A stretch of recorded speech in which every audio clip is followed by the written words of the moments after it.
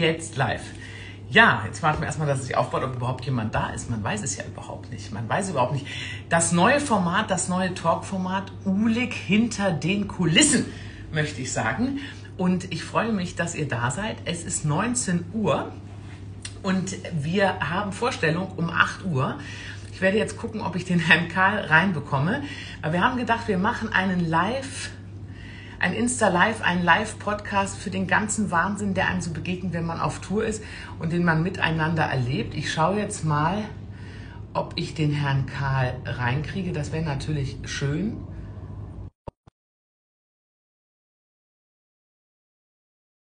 Habe. Ob er das hinkriegt, man weiß es nicht. Man weiß es nicht. Oh, er sieht zu. Herr Karl, ich habe Sie eingeladen. Ich bin erstaunt. Ja, hallo. Ich bin erstaunt. Vielleicht machst du es seitlich ein bisschen leiser. Ne? Wie seitlich? Seitlich, nur so, so? Am, am, Handy so? drücken. So ist so. besser? Hinter den Kulissen, wir haben 14 Minuten, wir sollten sie nicht verplempern. Ja? Ja. Womit beginnen wir? Ich nicht, ich habe eine Frisur heute wie Roy Black. Ja, die hast du immer, das wollte ich dir neulich schon sagen. Gut. Aber gib doch zu, ich habe dein Haargel vergessen. Was ist Gib, sag's doch. du vergessen? Ich habe dein Haargel vergessen. Ja. Na, äh, was uns gleich zum heutigen Thema bringt, eigentlich einpacken, oder? Einpacken. Verreisen, auf Tour und einpacken. Und was passiert? Du bist wahnsinnig laut. Ich höre dich von meiner Garderobe durch deine Garderobe. Ich will es dir nur sagen. Weil ich so eine sonore Stimme habe. Ja. Du siehst auch, ich sehe auch besser aus als du, aber das ist ja wurscht. Ja? So, einpacken. Dann sag doch, was du dazu zu sagen hast. Naja, wir reisen ja wieder mit schwerem Gepäck, möchte ich sagen. Völlig sinnlos, weil nämlich, also die Frau Ulich kann sich nicht entscheiden, was sie einpackt oder warum sie es einpackt. Das heißt, ich bin ja, wir sind jetzt hier in Neu-Isenburg, ich bin ja total überrascht, dass du nicht einmal ein Moskitonetz mit hast. Es ist die Notfallapotheke mit, es ist ein Fieberthermometer, es sind Kinderzäpfchen mit. Es ist eine Unverschämtheit. Na, ich weiß nicht, warum du Kinderzäpfchen. Also das heißt, das ist ja ein, etwas tiefenpsychologisches, nicht? Also man packt einen Koffer und kann sich nicht von gewissen Dingen trennen.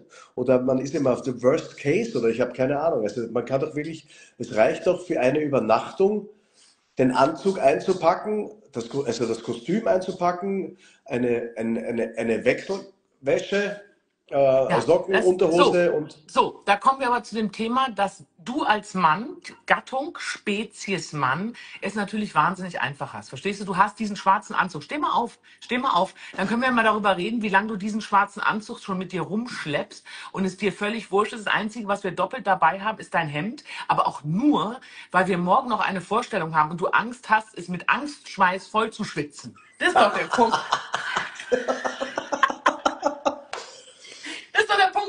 solche Angstschweiß hast du vor. Das, das ist überhaupt, das ist so überhaupt nicht wahr. Das ist, über, das ist überhaupt nicht wahr.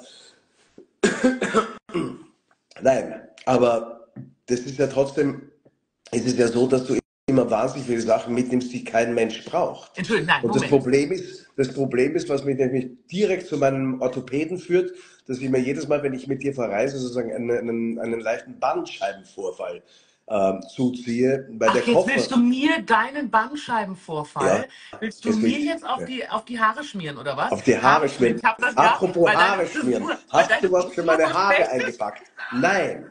Aber einen Fieberthermometer und Zäpfchen, das haben wir eingepackt. Aber für meine Haare nichts. Entschuldige, ich habe Notfallschmerzmittel dabei. Da kannst du mir sehr dankbar sein. Ich habe auch für dich, ich kann es gleich zeigen, ich habe auch für dich Kräuterzuckerls dabei, weil du ja hysterisches Husten vor jeder Vorstellung kriegst. Ja. Du, du, du lutscht ja jetzt schon wieder was. Ich möchte was Kurzes sagen. Ich habe in meinem Koffer, lass uns das Spiel doch spielen. Ich packe meinen Koffer und nehme mit. Ich nehme mit als erstes mein Kissen. Und du weißt, wie wichtig das stopp, ist. Stopp, stopp. Dieses Kissen, allein die, bei mir ist ein, ein, ein, was ist dieses Kissen, ja, braucht mindestens die Hälfte des Koffers. Mindestens. Ja, das gut. Heißt, ja, gut. Dann kommen deine restlichen Utensilien. Für mich bleibt eigentlich nur ein, äh, ein, ein Achtel des Koffers übrig. Und da muss ich meine Sachen hineinquetschen. Entschuldige, du warst derjenige, der gesagt hat, ich kann mit meinen normalen Schuhen nicht auf die Bühne. Ich soll die schwarzen Schuhe anziehen. Jetzt habe ich die schwarzen Turnschuhe dabei, die ja auch in den Koffer müssen, während du einfach mit deinen Lederschuhen, du hast ja nur ein Paar an. Ja, und wir wissen, dass ich beide auch mal einen Schweißfuß gelegentlich habe. Also habe ich zwei Paar. Sch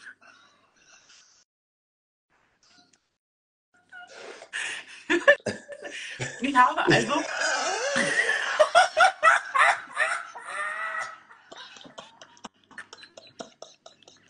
Ich dachte, ich bin der mit den Schweißflecken. Jetzt kommst du daher mit deinem Schweißfuß, um zu erklären, warum du mehr als drei Viertel des Koffers benötigst. Nein, nein, Moment, Moment. Ich habe, du willst, du willst es wirklich. Du willst jetzt vor den Leuten mich öffentlich denunzieren, dass ich Größe im Turnschuh 44 Männer trage. Das willst du jetzt sagen, weil du damit nämlich suggerieren willst, dass ich noch mehr Platz in dem Koffer brauche, weil mein Schuh schon so groß ist und mein Kissen so groß ist. Das ist doch der Punkt.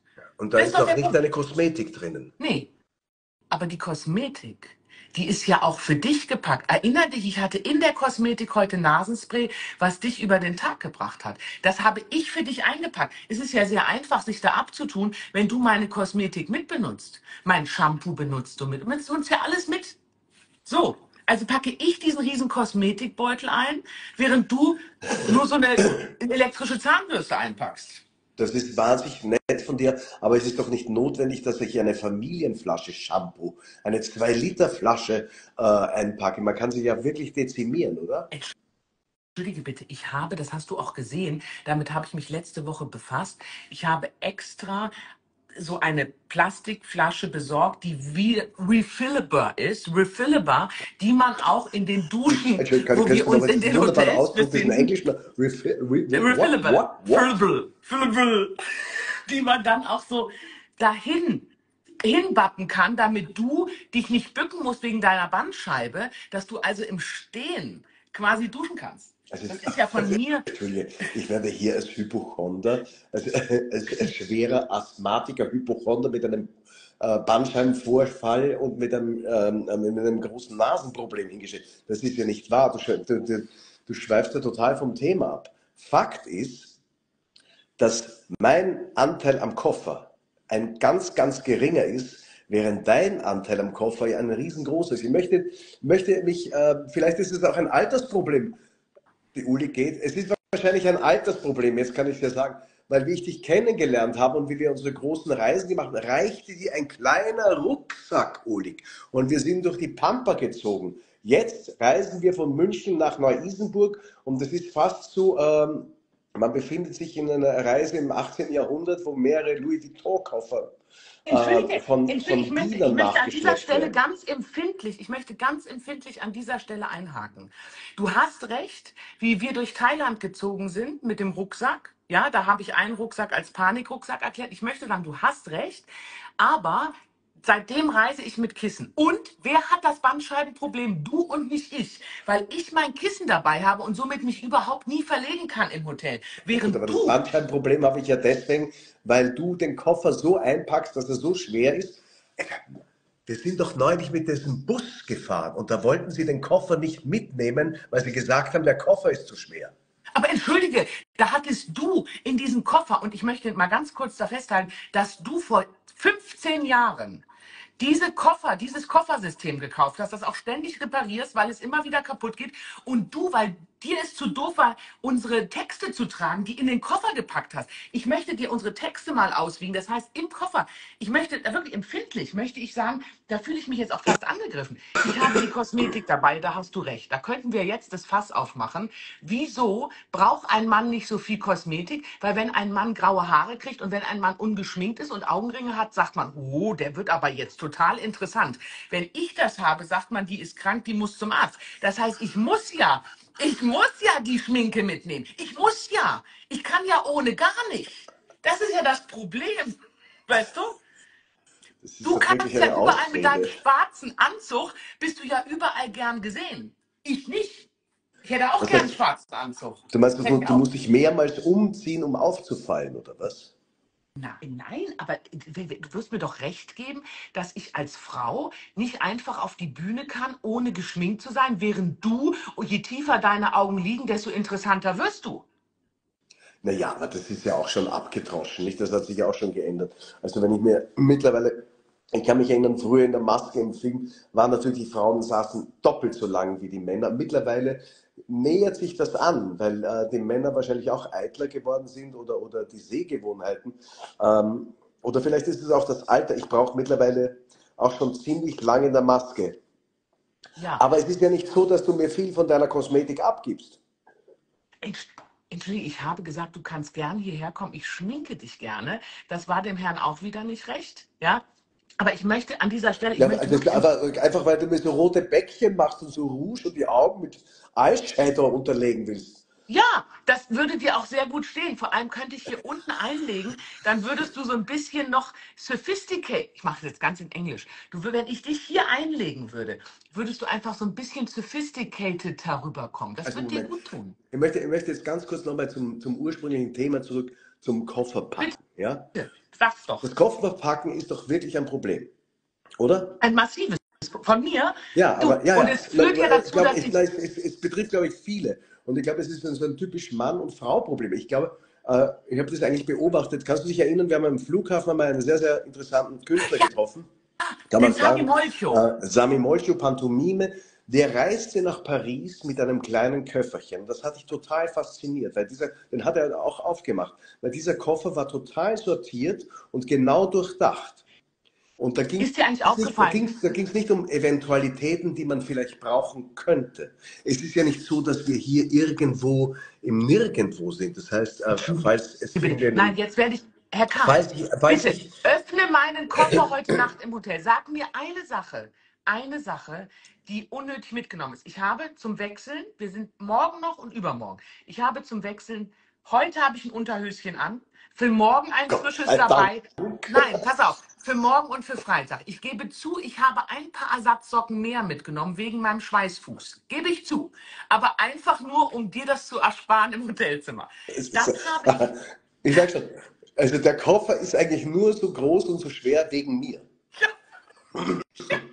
Verstehe. Ja, dann habe ich, warte, dann habe ich die Kosmetik. Gut, da könnte man aussortieren, da hat, hast du recht, aber ich denke ja manchmal, wenn wir dann so unterwegs sind und so wahnsinnig viel Zeit haben, dann könnten wir doch da eine Gesichtsmaske auflegen, was wir zu Hause ja nicht immer schaffen. Aber es ist wirklich ein kleines Typchen. Dann habe ich äh, den heißen Lockenstab mitgenommen. Moment, Oh, da kommt, kam jetzt was ganz Interessantes. Da schrieb jemand getrennte Koffer. Ja? Das Problem ist, wenn wir getrennte Koffer haben, habe ich den ganz kleinen Koffer und du hast genau den großen Koffer, den du Ja, jetzt und nicht dann- hast. Dann sag ich, und dann sag ich, das ist doch Quatsch, dass du den kleinen mitnimmst, weil es ist ja noch so viel Platz in meinem Koffer. Tu's doch da rein. Genau das sag ich.